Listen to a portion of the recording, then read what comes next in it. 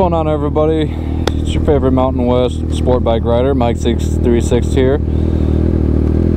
And uh, yeah, we're gonna do a little moto vlogging and cruising around as the title states.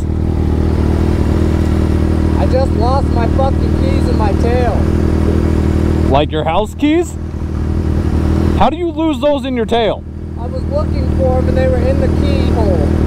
My I was gosh. like, where did I put my fucking keys, dude? I can't take you nowhere. I like how you got the GoPro on it now.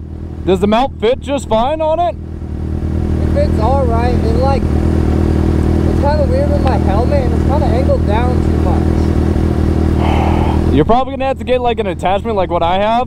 So it, like right here, as you can see, there's two of them. There's the base, and then there's like an extra one that actually connects onto the camera itself.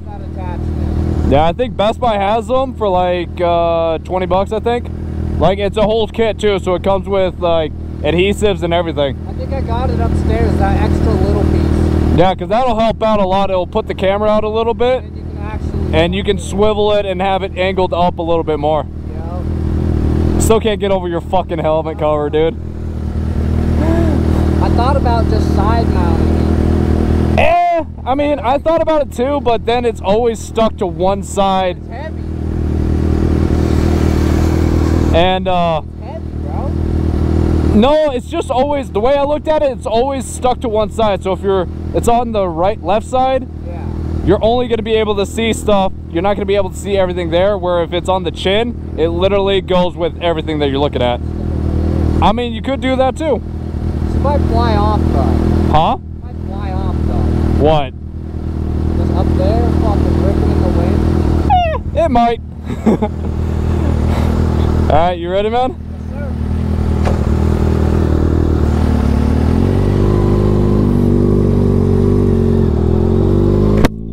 Okay, so as I was saying, this is just gonna be, you know, we're just gonna cruise and talk. I'm with my buddy Dylan over here. Got him out on his bike finally. Uh, you know, I haven't actually made a whole lot of content like this in probably a good couple of weeks. I know I've been slacking on getting pumping out content and stuff, and all on in all honesty, um, I've had some. The last like three weeks have been pretty rough, at least up here. Summer has uh,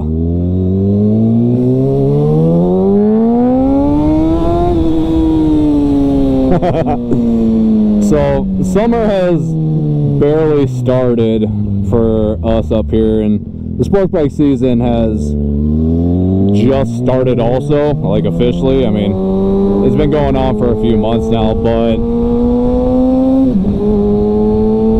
we actually had three people die in the last month up here, and unfortunately, I know all three of them. One of them was actually a really good friend of mine who passed away recently, so I've actually been kind of hesitant, really, to. Uh, hop on a sport bike right now, especially on my bike. I haven't really had like the drive or the need to really get on it and start riding around. I personally have been almost hit about three to four different times.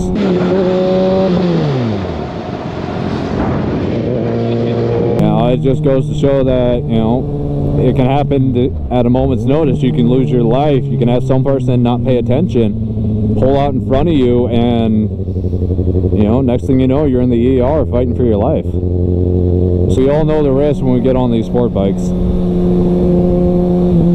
Also, if you're like new to sport bike riding, like don't let some motorcycle deaths be like a deterrent for you. Getting on a bike is still amazing. It's still fun, but you know, if you're gonna do it, wear your gear. Definitely wear all your gear. You know, riding boots, some good leather jeans, and you know, a nice jacket that has armor inserts in. So, you know, if you do happen to fall, you have a very strong chance of surviving this.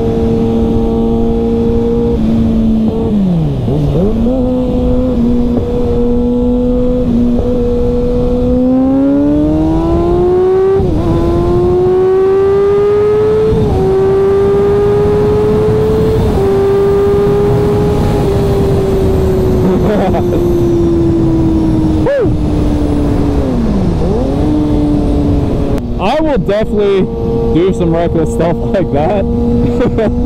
but that's probably like the most extensive I'm gonna do. I'm not gonna be trying to pop wheelies on this old girl. I love this bike too much, so I don't feel like trying to wreck her or lay her down. I will say though, that if I get another sport bike, which I'm really wanting to do, I'm gonna get probably another 05 ZX6R, just like the bike that I previously had before I bought this one. And uh, I'm probably gonna turn that one into a stunt bike and practice on it, get like the full stunt bars and everything. I would love to actually be able to like try to wheelie and stuff.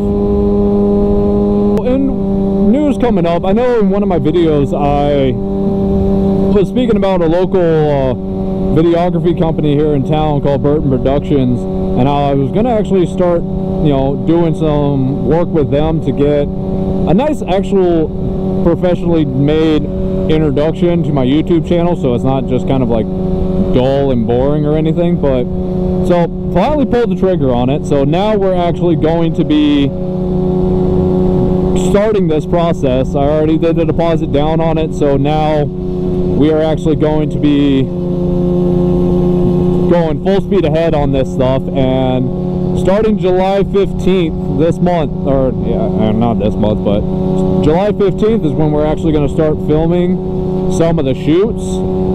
And you know hopefully end of June end of July not June end of July middle of August uh, hopefully I will be able to have that uh, intro video fully completed. And I'll actually be able to put that on some of my videos for the remainder of the riding season. I'm hoping so, but you know, can't rush quality and I'm, you know, these guys, I've seen their work, I've seen some of their commercials they've done, they've done one for Home Depot and they know what they're doing and I have very strong confidence that this video is going to be absolutely amazing when they get it done and when we start doing the shoots. I have a lot of ideas and so do these guys and they they're more than eager to be making content with us or at least for me and with me to you know boost my channel up and make it a little more professional more eye-catching and definitely something everyone that watches my channel comes to my channel is going to enjoy and want to watch.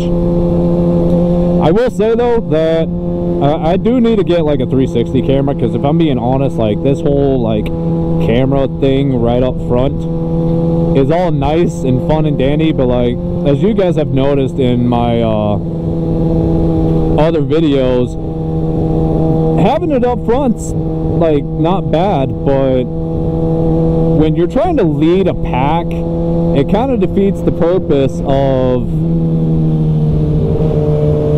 having having a camera up front when you're leading the pack and you can't get shots around. So by all means, I've been wanting a 360 camera. I just don't know what to get or what attachments to get to get like good 360 content with. I love that Mustang, by the way. Dude just completely has modifications on it like beyond compare. I think he puts out like a thousand horse on it. He said he's got like two massive turbos on it. And uh, that thing sounds nice. It's mean looking. It's mean sounding, not looking. It's missing the entire front end.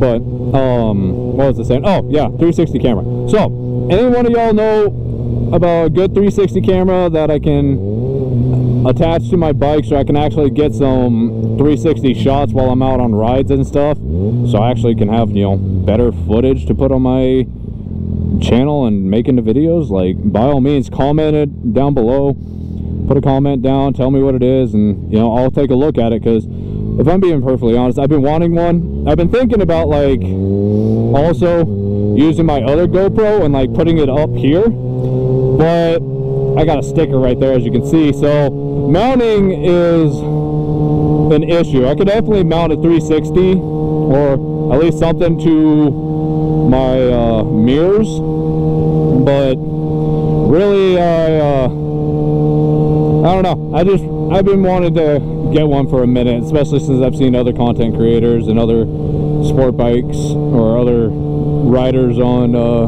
YouTube having 360 cameras, and honestly, their footage is really nice. So I've been kind of biting at the bit to get one. Just don't know exactly what one is a good quality or best bang for the buck type of situation. So, like I said, if you got something, if you got a 360 camera that you know one of your friends use or you personally use and you like the quality out of it then by all means like comment down below what it is and I'll go take a look at it and you know maybe I'll, if I like it I'll pull the pull the trigger on it and you know I'll start getting some 360 footage up too the say is you fucking cheated What? I said you cheated on Broadway It was hard to do the hard count. Fuck that's where you just use a horn I know we should have used the horn.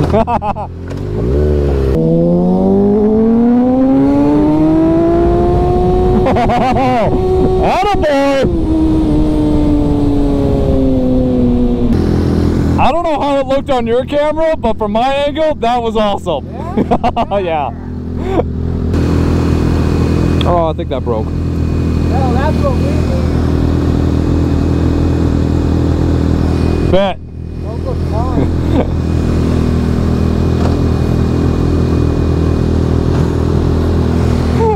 ha ha ha